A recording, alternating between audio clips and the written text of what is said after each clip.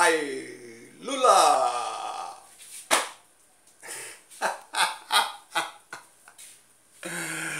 Ai, começou o circo. As chiquinhas de Lula estão chegando em Porto Alegre. Olha, eu não sei se a gente ri, se a gente chora, eu não sei se a gente lamenta, se sente pena. Uma piada. Sabe aquela coisa de formiga? Bom, em Porto Alegre, para quem não conhece, a gente tem muitas formas de entrar na cidade, mas a mais utilizada é a BR-116. Por que mais utilizada? Porque vem da, das cidades maiores. Então, lá vem eles. Sabe aquele formigueiro? Tudo ali, parece uma boiada. é, e como toda boiada, na frente vai o cara do berrante, né? Gritando, né? Eh, ditando gritos e palavras de ordem. Ao lado vão os fiadores, aqueles que garantem que a tropa vá certinha. E atrás vão os culateiros para evitar que desertores, ó. Cara, dizem que é a Vila Campesina e o MST. Sem sacanagem, tinha uma menina, eu vou dizer fortinha para não ser deselegante, um pouquinho mais para gorda. Mas que cabelo lindo, que cabelo bonito, uma morena, né? O cabelo grande, bem cuidado, uma roupinha de grife segurando um bumbo. Tum, tum, tum, tum, tum, tum. Mas olha, eu acho que é a primeira vez que essa moça pegou algo pesado na vida, porque pau de guatambu enxinchada com certeza nunca. Eu fico só com dó que vai ter calinho na mão pela primeira vez. E os outros? Bom, os outros chega a ser hilário. De um lado, uma bandeirinha que foi entregue para um caminhão, que logo que eles chegaram, se uniram tudo em volta de um caminhão, né? com o cara do berrante, com Lula, baixa ditadura, aí deram para eles a bandeirinha já surrada, coitado, acho que acabou o dinheiro, não tem verba para comprar bandeira nova, aquelas bandeirinhas, elas já não são mais vermelhas, são cor de rosa, tudo fatiadinha.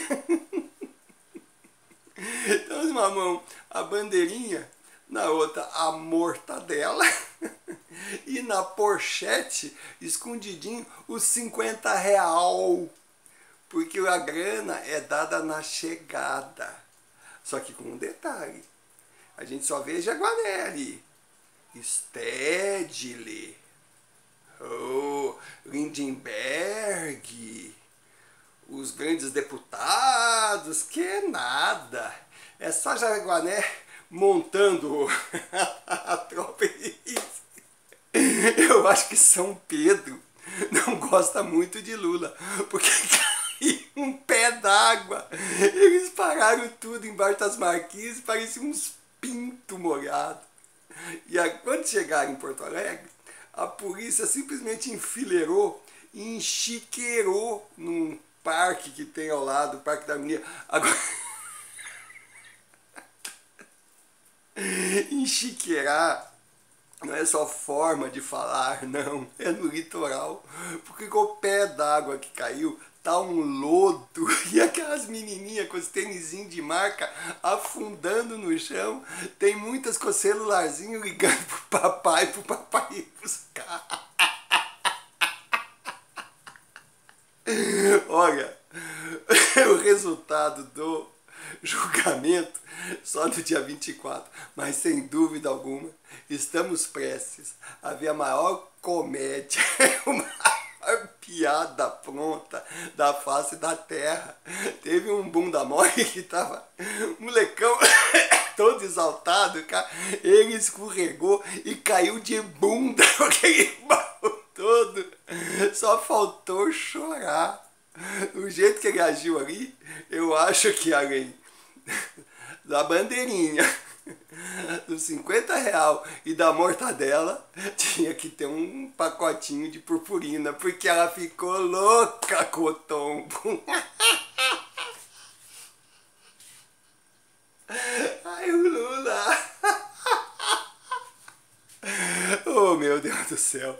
E se você quer rir com a gente, o espetáculo macabro que as Chiquinhas de Lula e chegaram dizendo que iam arranhar todo mundo e o morder e o beliscar Porto Alegre vão sair molhadinhas, molhadinhas e não será de prazer. Olha, vai ter uma epidemia não de febre amarela em Porto Alegre, mas de gripe. Entre as filhinhas de papai metidas a socialista. Então vamos continuar rindo juntos. Entre lá no www.sofadepobre.blogspot.com. Seja um seguidor. Clique, curta. E não adianta apenas entrar porque não gera receita. Vá nas mensagens dos patrocinadores, abra essas mensagens, conheça seus produtos, apoie quem nos apoia. Romário Oliveira 22 de janeiro de 2018, de Porto Alegre, que está se transformando num circo com o maior picadeiro da história, tomado por palhaços.